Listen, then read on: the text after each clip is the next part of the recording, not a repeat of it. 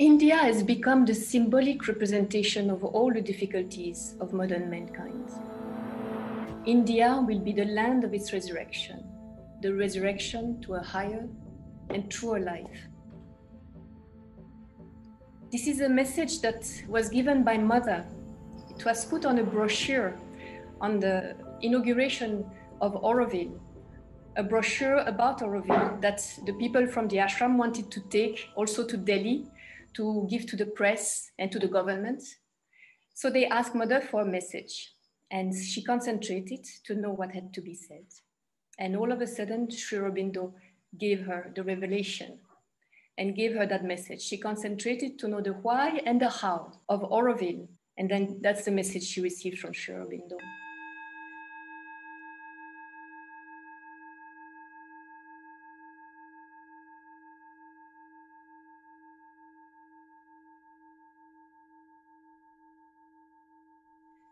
So, if you want to understand the spiritual significance of Auroville, you need to understand the spiritual significance of India. And if you want to understand the spiritual significance of India, you need to understand the spiritual significance of the earth. What is the earth?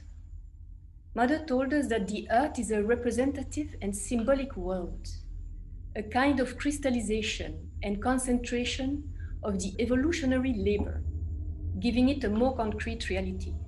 This is here on the earth that all the work is taking place. And the history of the earth is a symbolic history. The earth is where concrete form is given to all the work to be done to bring evolution to its perfection, its goal. What is the goal of evolution? For all of us to realize the divine and to manifest the divine here in matter. Elsewhere, Mother says, it is enough just to be and things simply are. But here on earth, you have to work. And the work we do here has clearly universal repercussion. It will impact everywhere else. But the thing is worked out here, and the place of work is here. She adds that the Earth has a place of distinction because, unlike any other planet, it is evolutionary with a psychic entity at its center. This terrestrial world was formed to become the symbol of the universe and to be a point of concentration for the work of transformation, the divine transmutation. The divine cast itself into matter, directly plunged and involved itself into matter, and more specifically, in the earth the divine is totally involved and is trying now to push out through the psychic being, through us realizing our psychic being. It is how the divine is going to come out and express itself. So, this is the important work that we have to do here on Earth. And it's the only planet who has that. The same thing which in the history of the universe made the Earth this symbolic representation of the universe is now taking place in India. India becomes itself the representation of all human difficulties.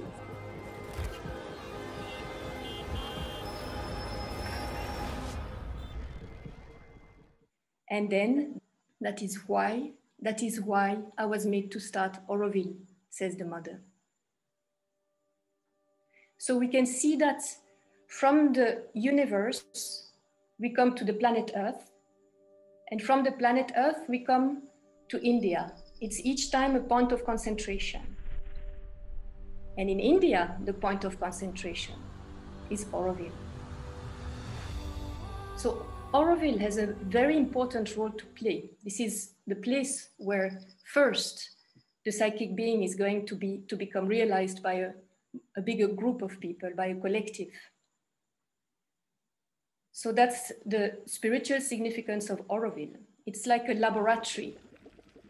In the laboratory, you bring all the elements of a problem together in a limited space.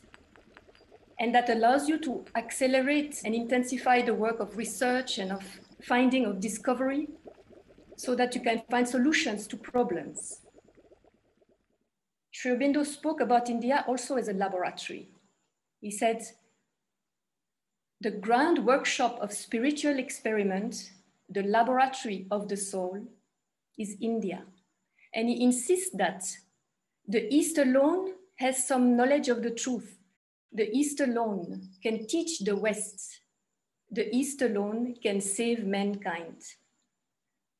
And I really have to insist on that because we see very much this East West conflict taking place also, also in Auroville, and how the Indian spirituality is absolutely crucial to help us out of our difficulties.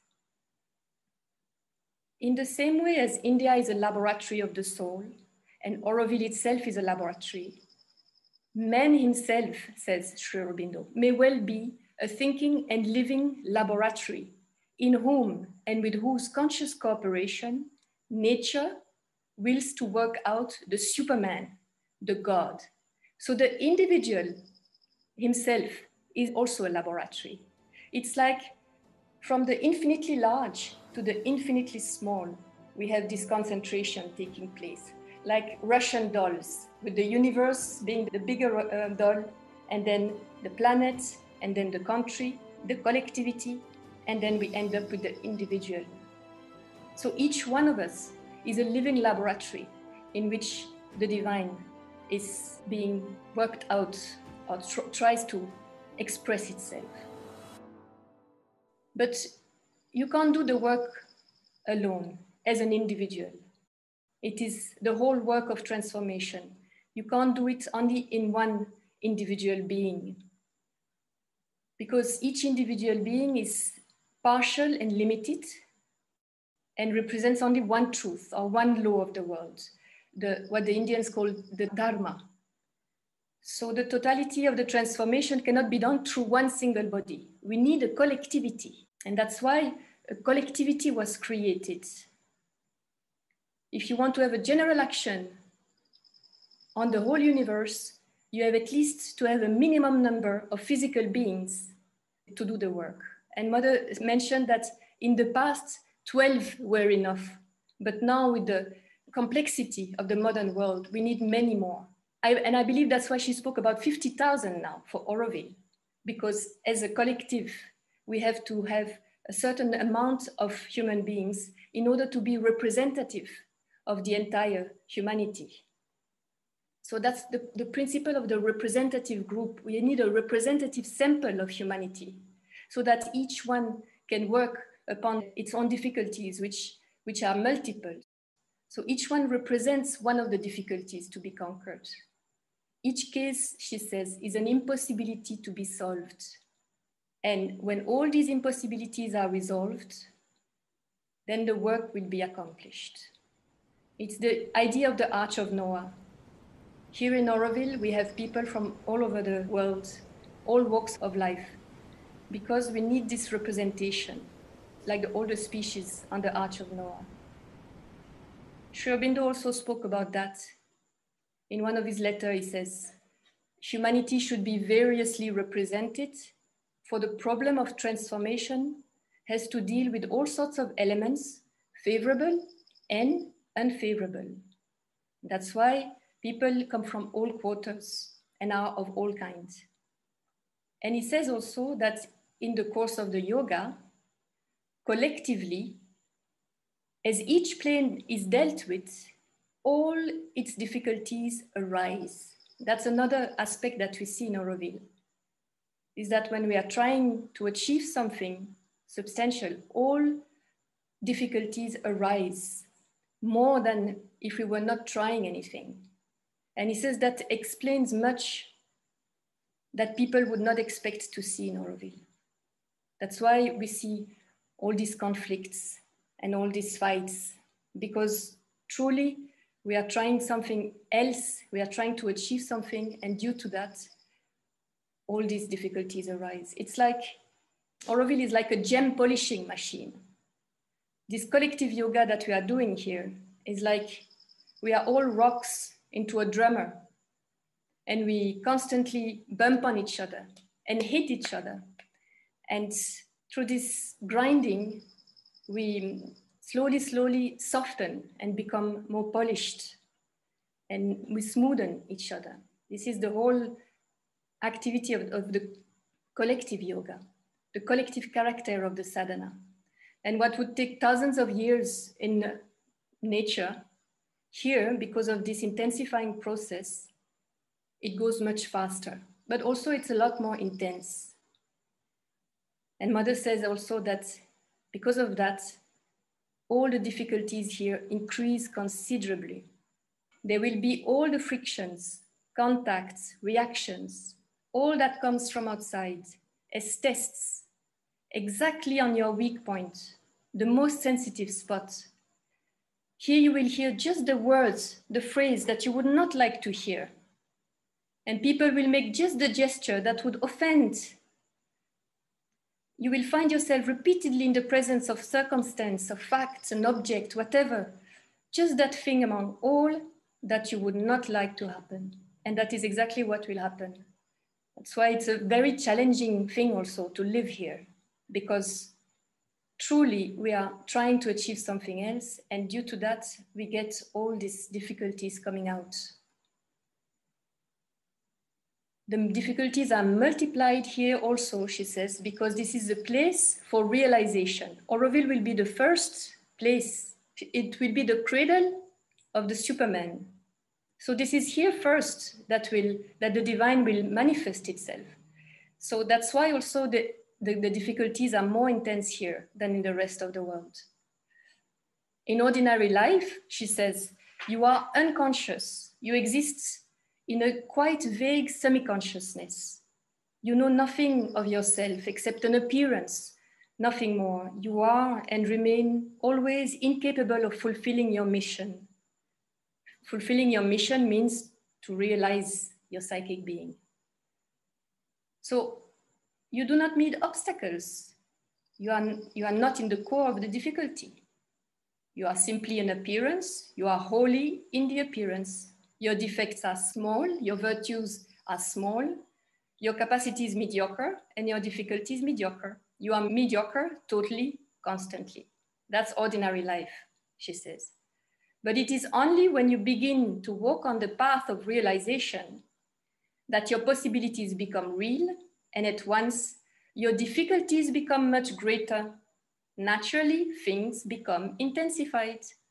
So when you see this in, in this light, then all what we are going through, all what we've been through in Auroville, also in the last few months, suddenly makes sense. But then Sri Aurobindo says, going back to his previous letter, when the preliminary work is over in the laboratory, things must change. So when we will have achieved some substantial realization in Auroville as a collective, then only we will start seeing changes in the rest of the world. This means we have a huge responsibility here in Auroville. We have to to make this city. We have to build this city. We have to manifest this, this dream. We have to become 50,000. We have to work on ourselves. We have to go beyond our egos. We have to do this collective sadhana because the entire planet is waiting on us. There is enough suffering. It's not like we have all the time in the world. It's time now for us to accelerate the movement if we want really the world to become a better place. It is on our shoulders.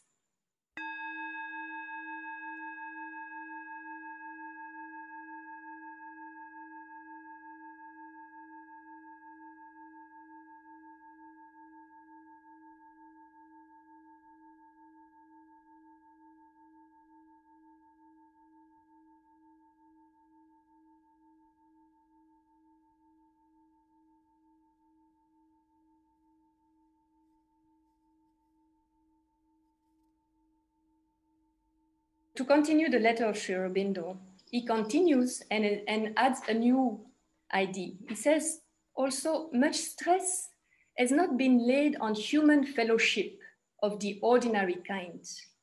He speaks about the ashram here. Though good feeling, consideration, and courtesy should always be there. Because that is not the aim. It is unity in a new consciousness that is the aim. And the first thing is for each to do his sadhana, to arrive at that new consciousness and realize oneness here. And I wanted to bring up that point because we've heard a lot about human unity again in the last few months. But many people do not understand what truly Mother meant when she spoke about human unity or what Sri Aurobindo meant. So that brings us to the purpose of Auroville. Mother said the purpose of Auroville is to realize human unity. She even put it in the charter. Auroville will be a living embodiment of an actual human unity. But another quote that she gave, and that many people do not know about, she spoke that four years later. She must have seen in the meantime what was happening. And she gave an important precision. She said, Auroville wants to be the first realization of human unity. And she adds, based on the teaching of Sri Aurobindo. And this is major key because we don't want here fellowship or we don't want here especially human unity like many people understand it like doing things in groups or chanting around the fire or hugging each other. This is not the human unity that Sri Aurobindo spoke about. So if you look at the teaching of Sri Aurobindo what is the teaching of Sri Aurobindo? The teaching of Sri Aurobindo is that behind the appearances of the universe, there is the reality of a being and consciousness, a self of all things, one and eternal. And all beings are united in that one self and spirit, but divided by a certain separativity of consciousness, an ignorance of their true self and reality in the mind, life, and body. So it's the image of the trees with the, all the leaves who are all part of the same tree, but all perceive each other as being separate. But we are all one at our core. That's the teaching of Sri Aurobindo. And he adds, it is possible by a certain psychological discipline, the yoga, to remove this veil of separative consciousness and become aware of the true self the divinity within us and all. This one being and consciousness is involved in matter, and evolution is the method by which it liberates itself. So the divine has involved its, itself completely into the unconsciousness and into, into matter. And from within, now it's pushing, pushing, pushing, pushing to re-emerge. That's how it created life mind. And now, Sri Aurobindo says, the next step of the evolution, the involved divinity in things will release itself entirely and it becomes possible for life to manifest perfection. But it is not, however, by the mental will in man that this can be wholly done. A conversion has to be made, a turning of the consciousness by which mind has to change into the higher principle. And that's we, we can do by the practice of yoga. Replace the mind's ignorance or its very limited knowledge by a supramental truth consciousness and make it possible for the human being to find himself and grow out of his still animal humanity into a diviner race. So if you want, it's like a triangle as long as we remain at the base of the triangle and we look, keep on looking at each other in the, in the ego consciousness, we remain divided. We are far away from each other. We don't understand each other. We perceive the life completely differently and we fight. The only solution for all of us to unite truly is to start looking up, up, up, up towards the divine towards this truth consciousness. We have to grow beyond the ego and go towards this truth consciousness, which is one. And when the more we go high, the more we become one in our perception of reality. And that's how we, we, we grow out of all these fights and all these conflicts. In this new consciousness, there would be no ego insistence on personal idea, no push or clamor of personal will and interest. There would be instead the unifying sense of a common truth in many forms, a common self in many consciousnesses and bodies. That's where we need to reach, each one of us, especially in Auroville.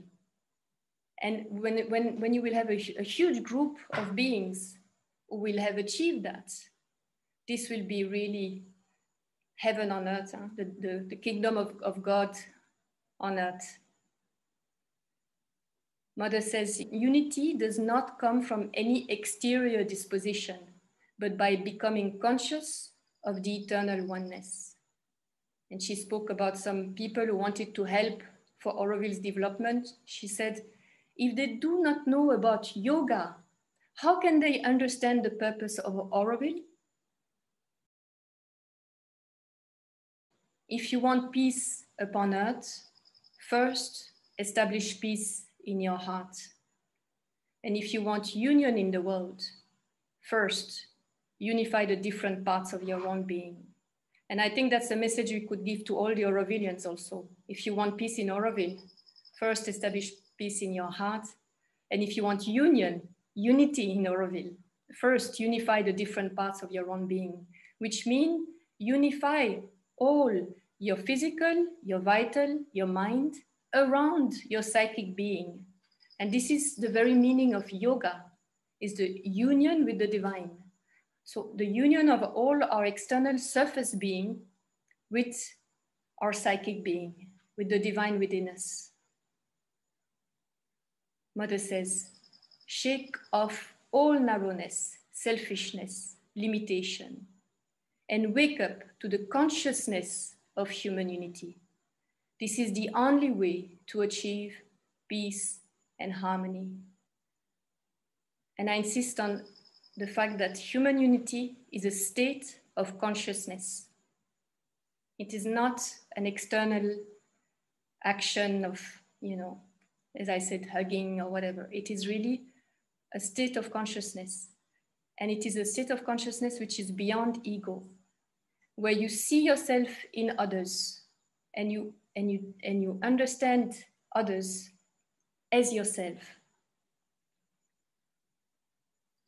and for that mother says again i know it's not easy because truly to achieve that famous consciousness to work and to become free from our egos our desires and all it's really not easy this is the context of Auroville. It is very challenging. As I said, it's about all this this polishing that we do on each other, this bumping into each other, hating each other, fighting with each other. But through all this fighting, something is happening.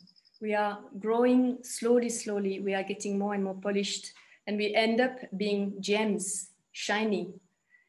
But it is not easy. So she says, I know it's not easy, but we are not here to do easy things. The whole world is there for those who like an easy life. I would like people to feel that coming to Auroville does not mean coming to an easy life.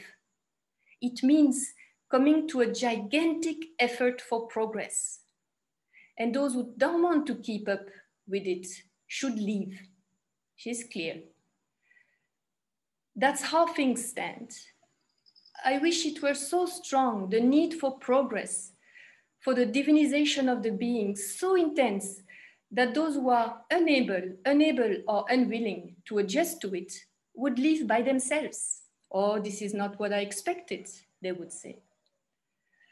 As it is now, all those who want an easy life and do what they please, as they please, say, let's go to Auroville. And it should be just the opposite. People should know that coming to Auroville means an almost superhuman effort for progress. And now I want to finish with a quote that mother gave on the occasion of the 100th birth anniversary of Sri Aurobindo.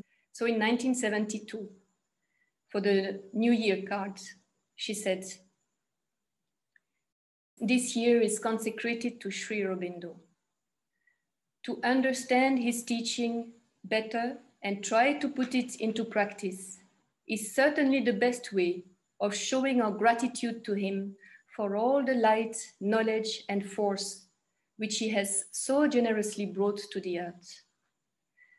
May his teaching enlighten and guide us, and what we cannot do today, we shall do tomorrow. Let us take the right attitude in all sincerity, and it will truly be a bonne année, a good year.